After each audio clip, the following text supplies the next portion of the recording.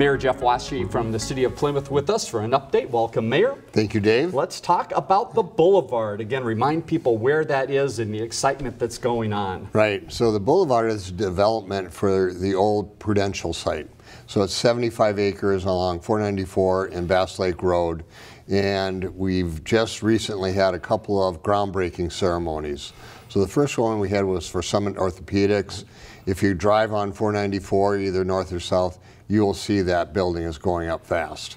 And so that was an exciting groundbreaking, uh, welcoming them to. Means Plymouth must be getting a little bit older and aging. Mm -hmm, mm -hmm. Uh, but the second one was an overall groundbreaking for the overall development with the two developers, Scannell and Roers. So that was an exciting time celebrating this coming together, the new park that we're going to have in the middle of that property, along with, we anticipate two restaurants that'll be right along the water. There's a big pond in the middle of that. And so it's an exciting development that's starting to come together.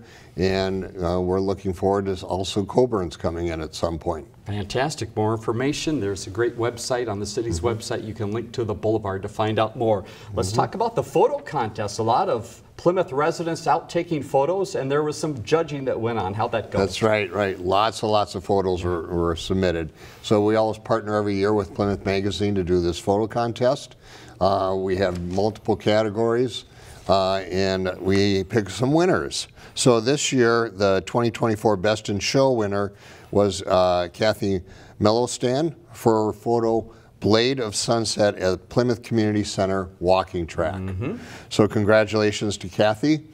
Uh, and then we have the 2024 Reader's Choice Award, which was Archana uh, Mohan for her uh, photo Be Leave in Yourself. Very nice. All so right, very here's, exciting. Here's a website to go to, plymouthmn.gov slash photo contest. You can see all of those great photos, and you might see them in some city publications soon. Final note, mm. something coming up just before Thanksgiving that people right. might want to shop at. What is that? Right, so on November 23rd, we're going to have an artisan market.